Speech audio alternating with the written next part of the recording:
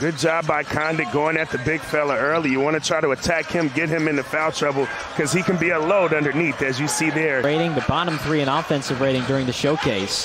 Floater from Smith. Lofton Jr. offensive rebound, and the putback is in, and the foul. But maybe seeing the ball go from the charity stripe, he'll start to be able to diversify, getting that ball to go in that hoop. My goodness.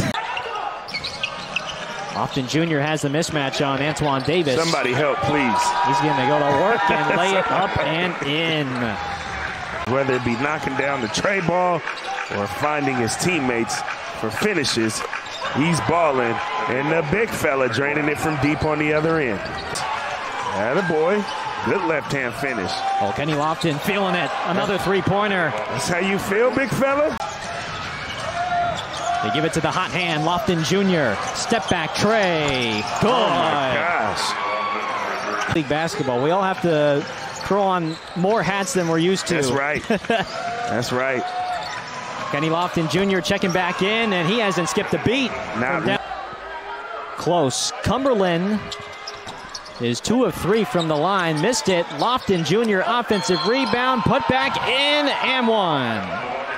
Have not led for much of this contest. Smith, floater, tipped oh, in man. by guess who?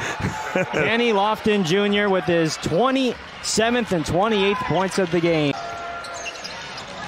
There are some tired men yeah. competing here at the Child Center. Kenny Lofton trying to get to work. He does so, and he draws the foul.